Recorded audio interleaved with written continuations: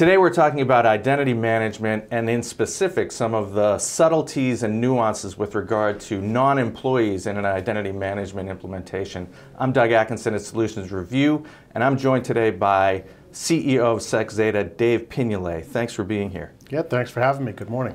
Well, good morning. SecZetta is taking on this challenge of, uh, of non-employees very specifically and it is one of the biggest threats to the enterprise, particularly very complex and, and regulated enterprises. Talk a little bit about where we are right now with regard to identity management and, and the opportunity that exists around this challenge. Sure. So identity management in general um, for the enterprise uh, usually has matured. In some cases, they're on their uh, second products or third products, but um, most enterprises have a, a, fairly good handle on how they manage access within the organization.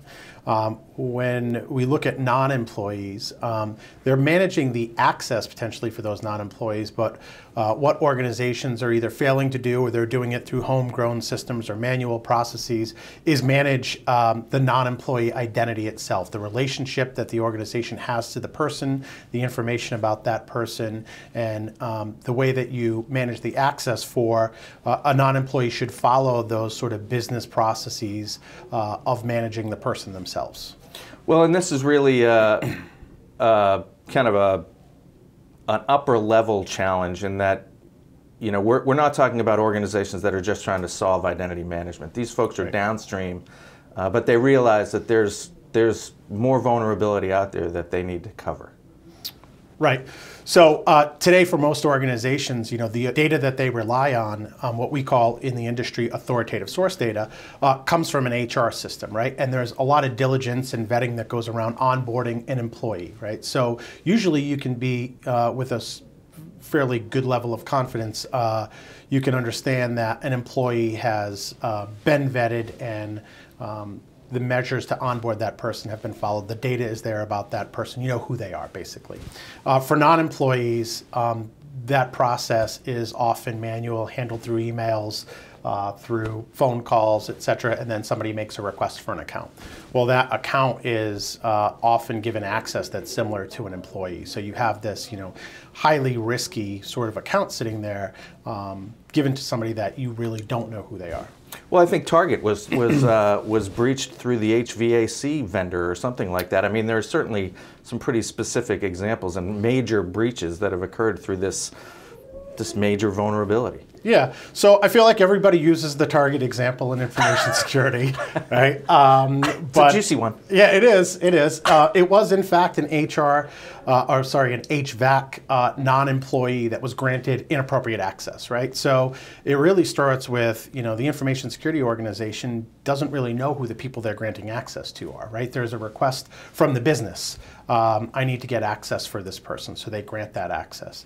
Um, that HVAC uh, individual was granted access that had they really known who that person was, they could have put um, tools like enterprise um, roles in place and limited the access that an HVAC vendor would get within that organization. So effectively, the combination about knowing who that person is, who they work for, you can effectively grant access for that person based on it on that information. And so, who are you bringing this story to, or who's coming to you with you know with their awareness that that they they have a vulnerability with a non-employee? Yeah, so our entry point in an organization is generally through the information security team, maybe more specifically the identity and access management team, because they're the ones feeling the pain, right? They, they carry all this risk of granting access to these individuals based on requests from the business, right? So the business is, um, you know, making that request, and information security is kind of, you know, um, you know, at their mercy to grant them access, right? So who swings a bigger stick in the organization? Is it the IT department or is it the business that's, you know, running the business? Uh, so, so what we have is a tool that uh, enables information security to um, let the business properly govern govern those people. So we get kind of the best of both worlds, right? We we have a um, consumer grade UI that the business uses to manage the life cycle of those non-employees. Now we can understand who they are. what, what vendor they work for, the risk about those individuals. So, you know, things like are they onshore, are they offshore, are they citizens, you know, whatever risk factors might come into play. And then we can make um, decisions about the access that we're going to grant based on who they are and their relationships to the organization, as opposed to just give me this account.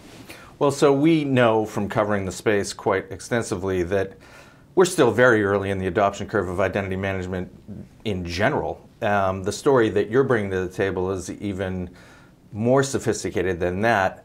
Um, what are, who's in the room and, and, and thinking about uh, this with you? Yeah, so I'm not sure that the use case is more advanced than that per se. Um, I agree that you know, depending on the organization, there's different levels of maturity for identity and access management. Um, but the use case that that kind of we solve is a use case that all of those organizations go through, and that is how do we handle these identities, right? So they're not actually able to get the full value of their identity and access management tool for this huge population of non-employees. For some organizations, it's a population even larger than their employee population.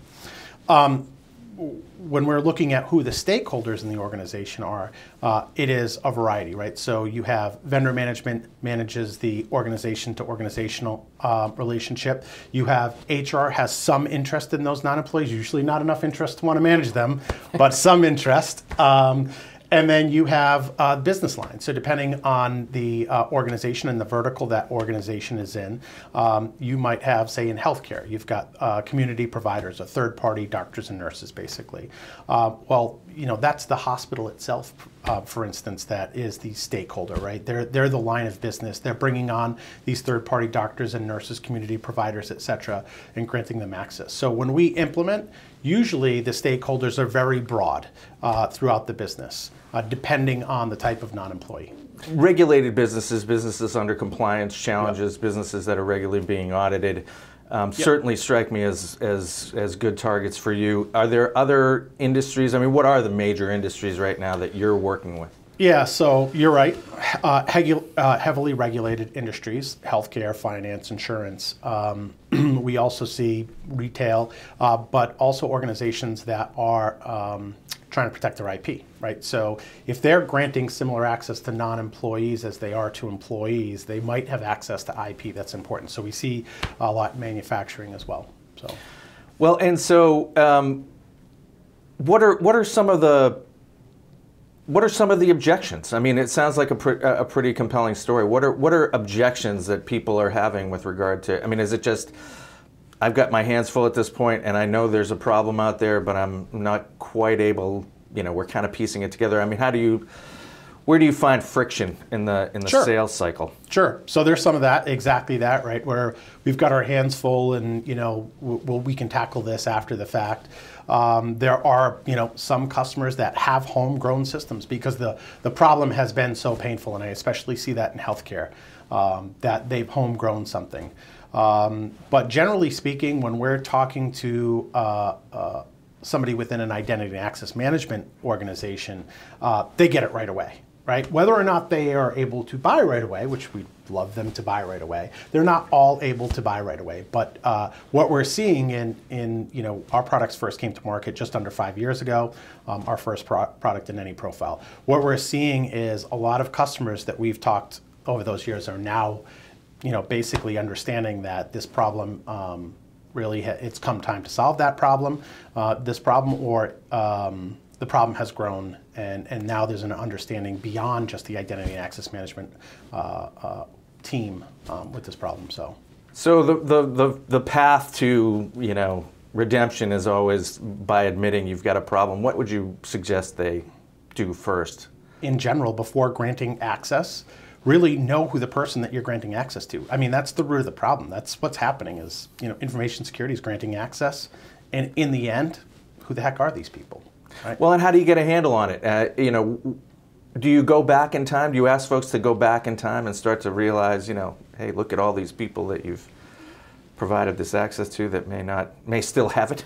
We're not specifically uh, providing the, the access solution, right? We're providing a business process engine, a repository for people data, a relationship management engine, um, and a collaboration system. So what all of that means is, is basically we're distributing the tool to the business to interact in a business process to provide data about these non-employees or collaborate with those vendors to provide data about these non-employees. So you can absolutely look back in time, right? So when we uh, do an implementation, we might start by gathering what data they have about non-employees. And then sometimes that is limited to like we have an Active Directory account and it says contractor on it, right?